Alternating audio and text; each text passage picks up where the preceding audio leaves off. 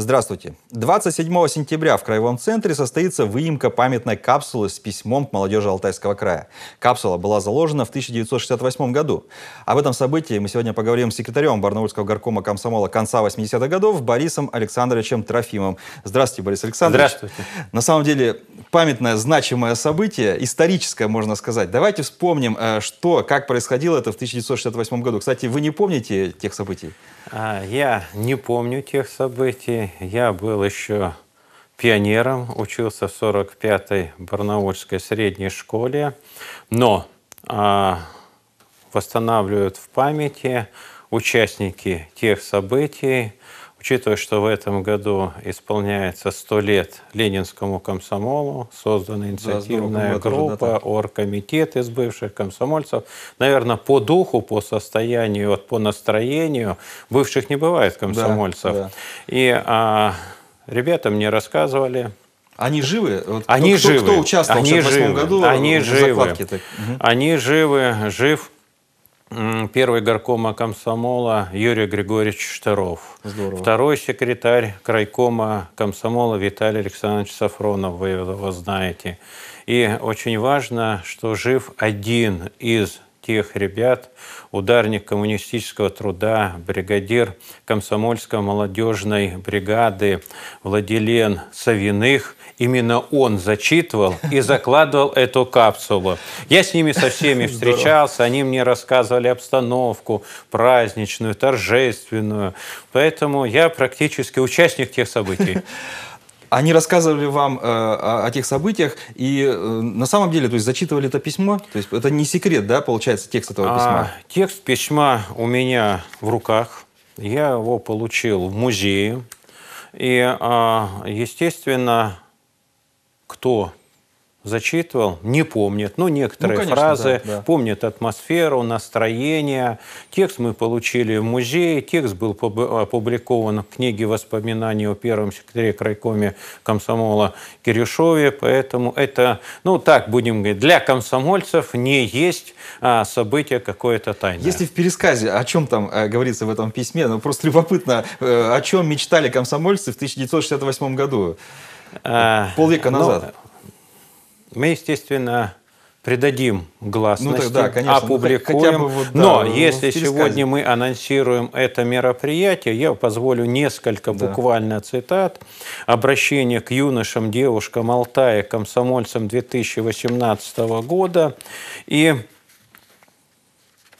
все обращение состоит... Большое? Сколько страниц? Три страницы. Три страницы? Три страницы нашего думал, времени. Но а, вот некоторые очень важные да. мысли они актуальны сегодня с точки зрения воспитания. Там конкретики перед... никакой не было, да? То есть Нет, там конкретики не как было. будет жить через 50, а, 50 лет. лет прожито государством, прожито комсомолом.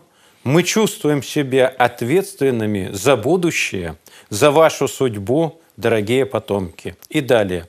Но мы гордимся своим героическим временем и убеждены, что вы тоже будете завидовать нам, потому что есть в нашей жизни неповторимая романтика и неповторимый подвиг. Это несколько цитат наставления молодежи. И вот деталь а, или а, сценарная вообще постановка этого митинга, изъятие капсулы, Капсулу будет из, изымать как раз а, Владилен Савиных, кто ее закладывал, да. 72 года, участники тех событий, придут ветераны комсомола и придут а, представители студенческих отрядов, то есть современная да. молодежь.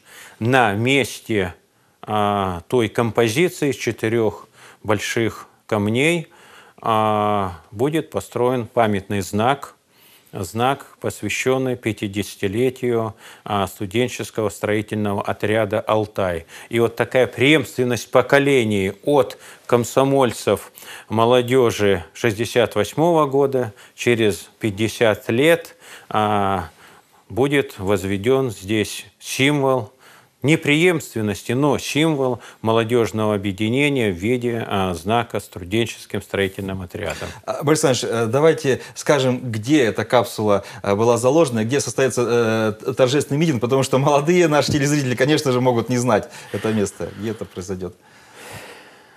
это место на протяжении 50 лет в хорошем состоянии. Оно пережило а, это место и сами, да, да и перестройку, годы. и периоды вандализма.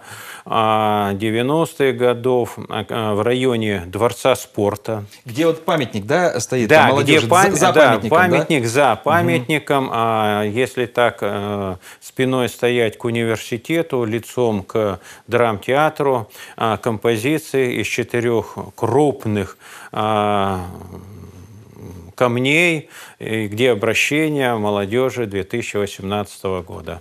В 2 часа, да? За, 27 да, 27 а, в 2 а, сентября часа дня. в 2 часа. Ну вот э, в сквере, примыкающем к площади Сахарова, здесь да, вот написано, да, да, да чтобы да, люди да, поняли, вот это так, ориентировались. Да, да. Капсула, это на самом деле будет капсула, она из какого-то металла сделана, тоже любопытно. Ну, понятно, что мы увидим это, но вот все-таки, может, вы знаете. Ну, как Или пластик. А, как рассказывают очевидцы, я ссылаюсь на их память, а, капсула в макете корабля «Восток-1». Интересно. Да. Уже интересно. Да, капсула из нержавейки. Капсула была изготовлена на Алтайском моторном заводе мы должны посмотреть, в каком состоянии, Конечно. и затем в пергаменте находится вот это послание. Ну, тем более, да, 68 год, естественно, все грезили космосом, космическими победами, только-только все конечно, началось. Конечно, Безусловно, вот символ ну, вот, в нашем время, может быть, другой а, символ Само был, это да. послание пронизано уверенностью в будущее, романтикой, и гордостью принадлежности а, к Советскому Союзу. Ну, по сути, самые благополучные годы, 60-е, 70-е, да, люди да, верили да, в будущее, это, безусловно, и знали, что помним, победа не это, только социализма, но и коммунизма. Да, да, это период как раз развития страны, период реформ Косыгина, Борис Александрович, а дальнейшая судьба капсулы, вот ее сейчас достанут, э, дальше что будут делать с письмом? Опять захоронят? А... Не решили еще? Мы когда принимали решение, это ответственное решение, а, несколько было претензий, а, считают себя преемниками а, ленинского комсомола, который вот прекратил свое существование в 1991 году а, политическая организация КПРФ.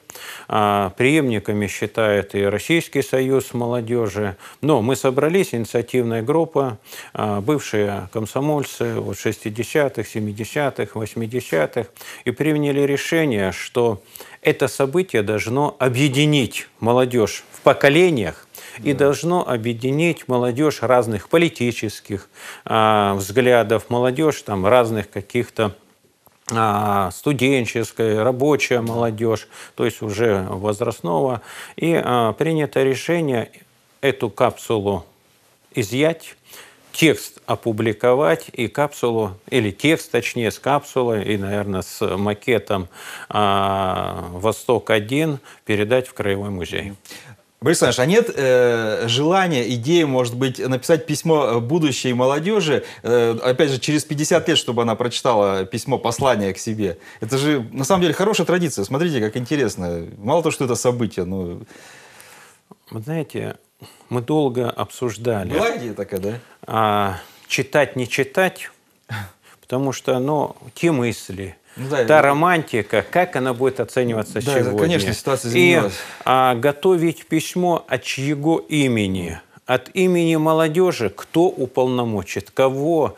Поэтому эта тема пока не обсуждалась. Вот есть студенческие отряды 50-летней а, давности, есть студенческие отряды современности, они объединяют студенческую а, молодежь, вот это будет символ. Мы не говорим, что это преемники, да, это часть молодежи, поэтому о послании там на 50 лет мы не задумывались. Понятно.